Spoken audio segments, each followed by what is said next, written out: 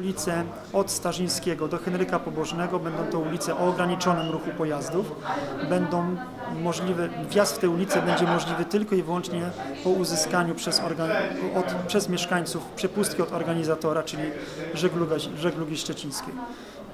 Te przepustki otrzymają tylko i wyłącznie mieszkańcy przyległych ulic, jak również podmioty gospodarcze, które mają swoje siedziby na tych ulicach.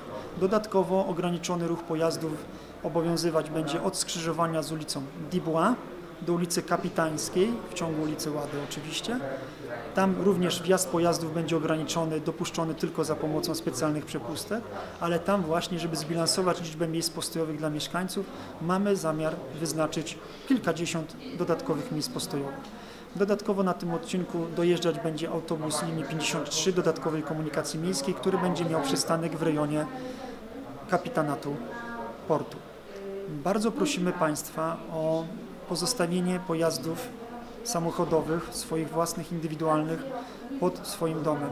Będzie bardzo ciężko dojechać na teren imprezy, a już na pewno nie będzie tam żadnych miejsc postojowych przygotowanych dla mieszkańców naszego miasta. Bardzo prosimy o korzystanie ze wzmożonym w tym okresie y, autobusów i tramwajów komunikacji miejskiej.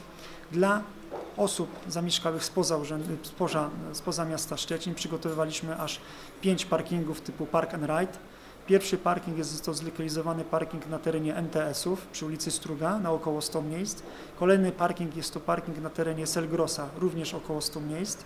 Kolejny parking w, tej, w, tym rejonie miasta jest to parking Zarządu Drogi Transportu Miejskiego przy ulicy Skadrowej, gdzie mamy około 400 miejsc postojowych. Natomiast od strony zachodniej przygotowaliśmy dla Państwa dwa parkingi Park and Ride, to jest na terenie Makro również około 100 miejsc postojowych i na terenie Uniwersytetu Szczecińskiego przy ulicy Cukrowej również około 100 miejsc postojowych. Łączna liczba miejsc postojowych typu Park and Ride na tą imprezę wyniesie nam około 900. Na każdym z tych parkingów umiejscowione zostaną punkty informacyjne kierujące przyjezdnych e, do specjalnie przygotowanych linii komunikacji miejskich łączące, które będą łączyć te parkingi z terenem imprezy. Dodatkowo na tablicach systemu zarządzania ruchem, publikowanych zarówno w ciągu ulicy Gdańskiej, jak i na Placu Zwycięstwa, zamieszczane będą różnego rodzaju informacje drogowe wskazujące mieszkańcom bądź to właśnie dojazd do tych parkingów Park and Ride, bądź ukazujące obecną sytuację drogową, jaka pewnie będzie zmienna podczas tych dni yy, imprezy. Kiedy skończą się wszystkie utrudnienia związane z Tolshipami, później z festiwalem Pyromagic. Po, po, zak po zakończeniu e, The Tollship Races zostanie wprowadzony etap szósty, który troszeczkę tutaj nam zmniejszy ilość zamkniętych ulic.